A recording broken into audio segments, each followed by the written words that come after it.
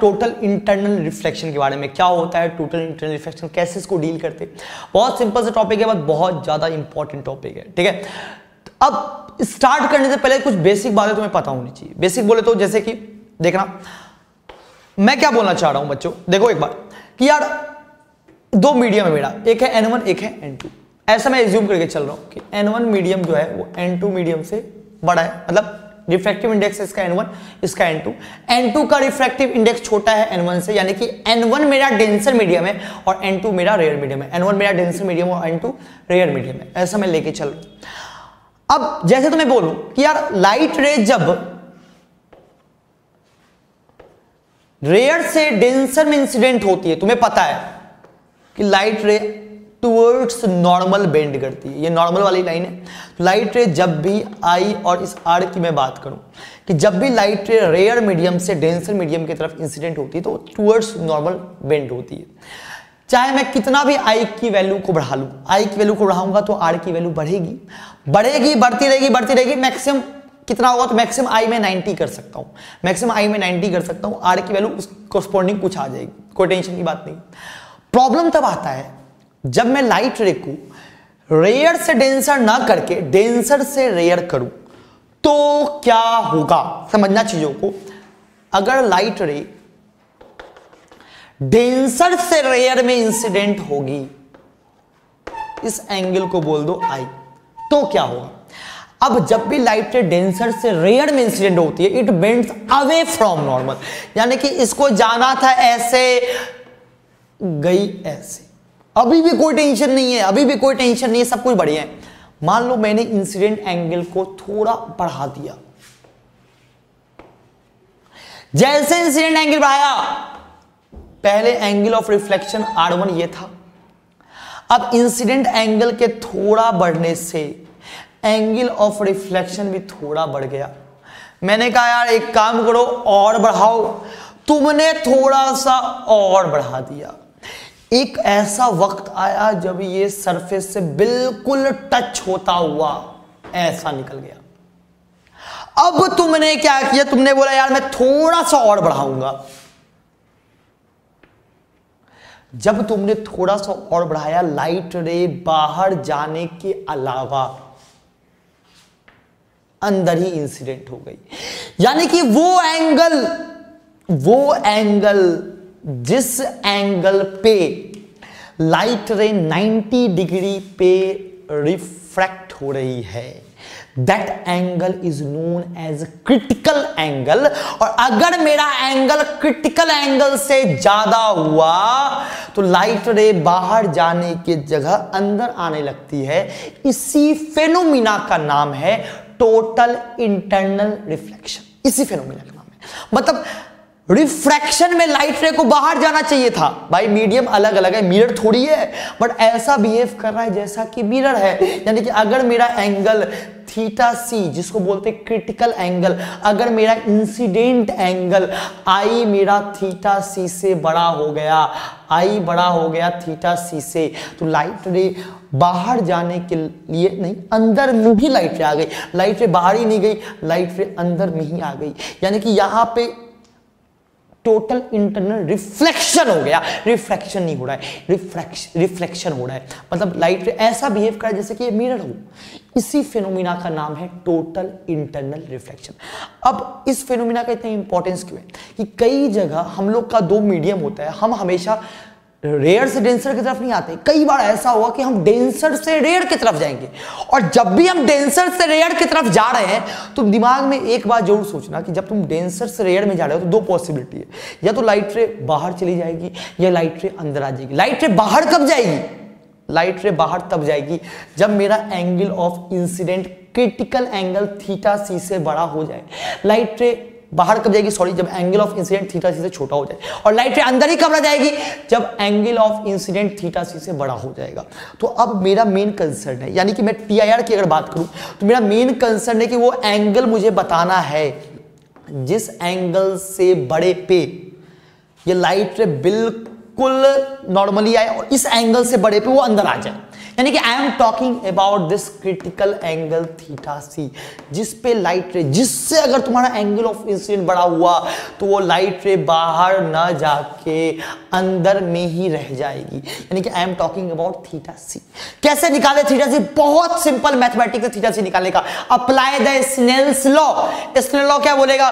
कि भाई N two sine I I बोले तो थीटा सी बराबर N one sine R sine R कितना है? नॉर्मल के साथ एंगल 90 डिग्री यानी कि साइन थीटा सी बराबर N one divided by N two यानी कि ये हो गया मेरा थीटा सी क्रिटिकल एंगल की वैल्यू अगर तुम्हारा इंसिडेंट एंगल थीटा सी से बड़ा हुआ तो लाइट रे अंदर रह जाएगी. अगर मान लो तुमने ऐसा इंसिडेंट करवाया तो लाइट रे अंदर आ जाएगी. और अगर तुमने एंगल ऐसा करवाया तो लाइट रे बाहर चली जाएगी. यही डिफरेंस होता है जब भी लाइट डेंसर मीडियम से रेयर मीडियम के तरफ़ जा रही होती है तो टोटल इंटरनल रिफ्लेक्शन का कंसेप्ट यहाँ पे आ सकता है। अब ये तो आगे टीआर की बात। अपन टीआईआर को इतना इंपॉर्टेंस क्यों देते हैं? पहले इसकी बात समझते हैं। टीआईआर को इतना इंपॉर्टेंस इसलिए दिया जाता है क्योंकि अपने को कुछ बातों का ध्यान रखना है। क्या क्या बातों का ध्यान रखना है? इसका स्क्रीनशॉट ले लोगे कुछ बातों का क्या ध्यान रखना है? समझना चीज़ों को। अब जैसे मैं तुम्हें क्या बोल रहा हूँ यार अपन बात करते हैं angle of deviation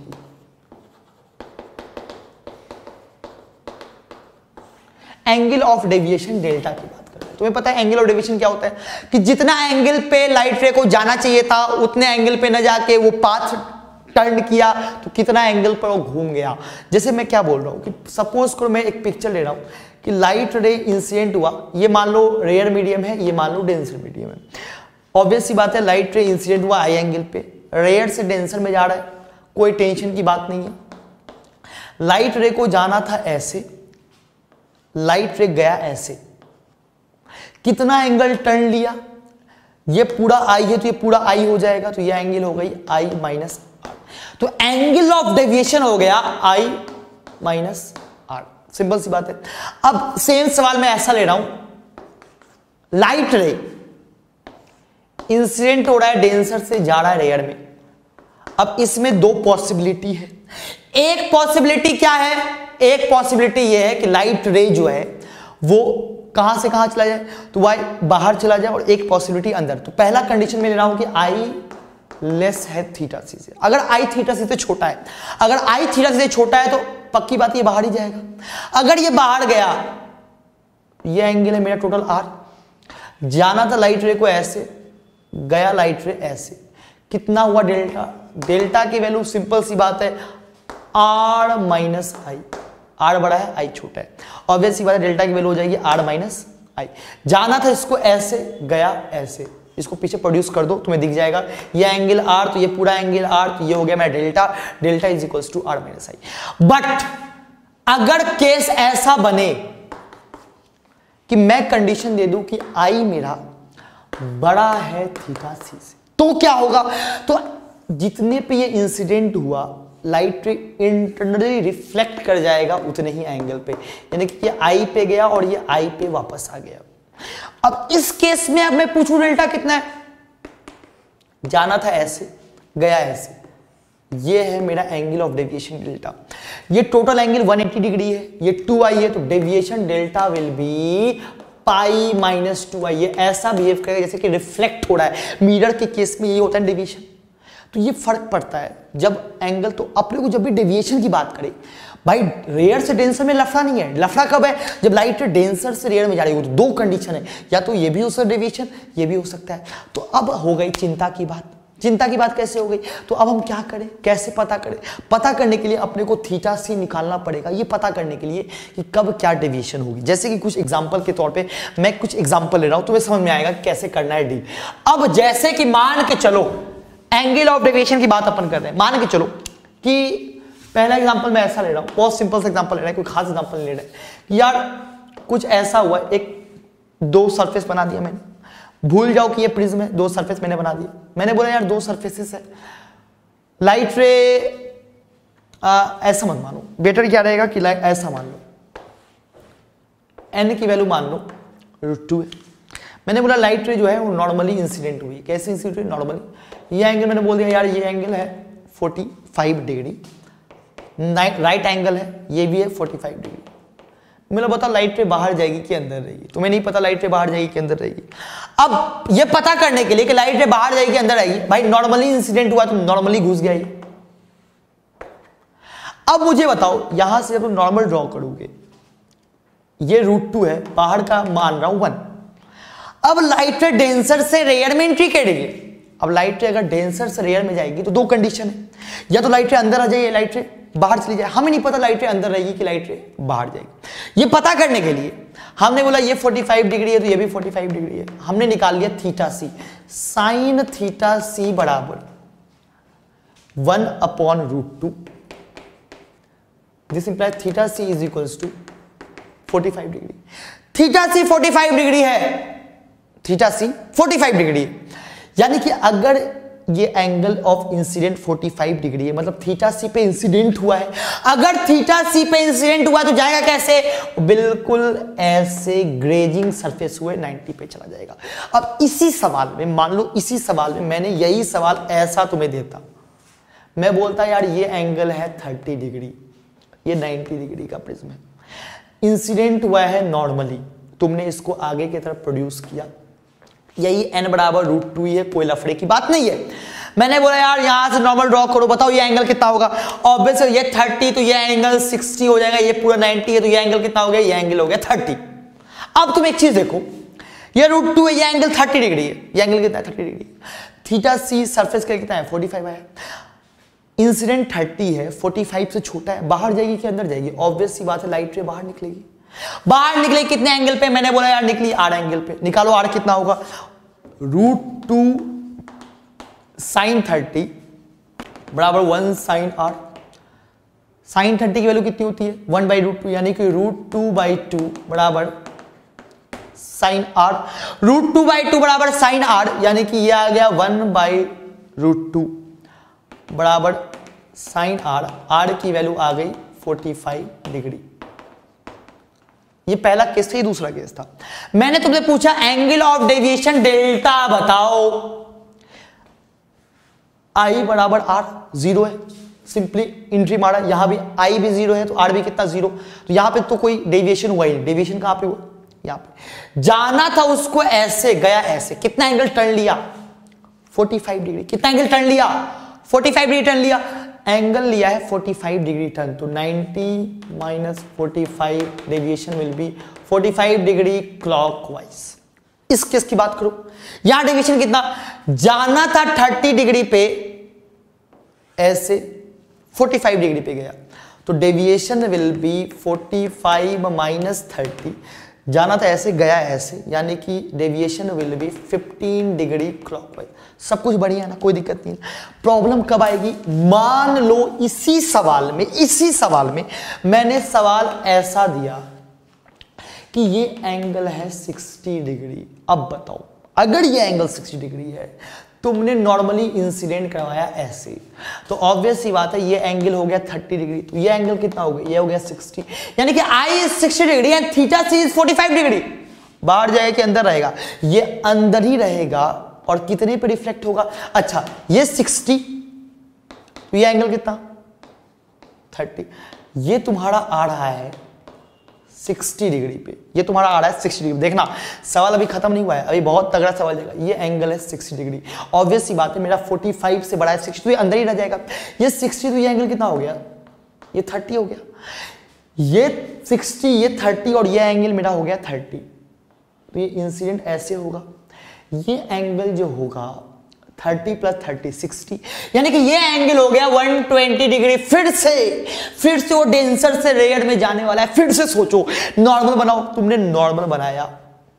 ये 90 ये 120 डिग्री ये बचा हुआ एंगल हो गया 30 डिग्री अब 30 पे इंसिडेंट हुआ है। थीटा सी 45 डिग्री अब तो ये बाहर ही जाएगा। यानी कि देखो, जब भी रेयर से डेंसर में आया, कोई टेंशन नहीं था। डेंसर से जब रेयर में जा रहा है तो मैंने थीटा सी चेक किया।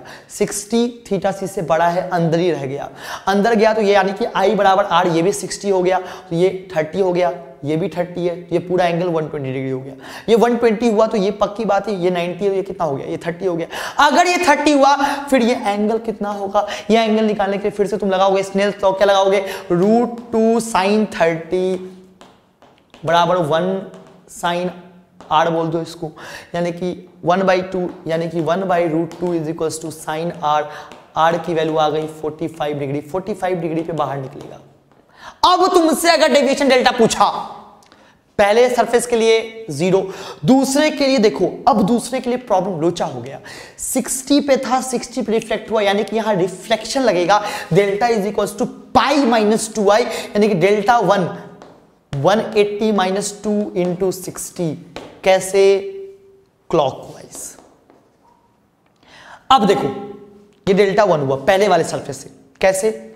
जाना था ऐसे, गया ऐसे क्लॉकवाइज जाना था ऐसे, गया ऐसे delta two is equals to forty five minus thirty जाना था ऐसे, गया ऐसे एंटी क्लॉकवाइज तो delta net is equals to ये कितना आया?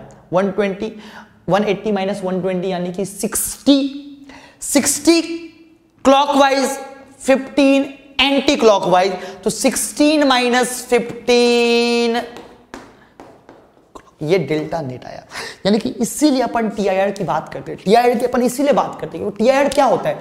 जब भी लाइटर डेंसर से रेयर में जा रही हो तो एक बार टीआईआर के बारे में सोचो कि भाई टीआईआर होगा तो क्या हो सकता है? जैसे मैंने ये कुछ एग्ज़ाम्पल लिया, ये प्रिज्म का एग्ज़ाम्पल है, ये सारा एग्ज़ाम्पल प्रिज्म का है। बट तुम स्नेल सॉ लगाए, सब कुछ चेक कर लिए। डेविएशन चाहिए था डेविएशन चेक कर लिए। अगर लाइट रे बाहर गई तो आई माइनस आर लाइट रे अंदर रह गई तो pi minus two i pi minus two i pi minus two i से ये निकाल लिया लाइट रे बाहर चली गई तो आई माइनस आर कर लिया डेविएशन दोनों का निकाला ये क्लॉकवाइज था, ये एंटी क्लॉकवाइज था माइनस कर दिया। कैलकुलेशन बस चेक कर लेना। बाकी कोई टेंशन की बात नहीं है। तो यार, यही प्रॉब्लम है कि जब लाइट डेंसर से रेयर में जा रही होती है, जब लाइट डेंसर से रेयर में जा रही होती है तो अपने को चेक करना पड़ता है कि लाइट अंदर है या बाहर है। पहले ये पता करो कि लाइट अंदर रहेगी या बाहर रहेगी। वो कैसे पता चलेगा? वो थीटा सी तुम्हें बताएगा। आई बात समझ इसी कंसेप्ट का नाम है टोटल इंटरनल रिफ्लेक्शन और ये इसके कुछ सवाल हुए अगले टर्न पे अपन इसका ग्राफ देखेंगे। एंगल ऑफ़ डेविएशन का एंगल ऑफ़ इंसिडेंट के साथ ग्राफ देखेंगे और फिर बहुत बातें हमें समझ में आएगी। मिलते हैं आपसे अगले वीडियो में। तब तक के लिए बाय टेक केयर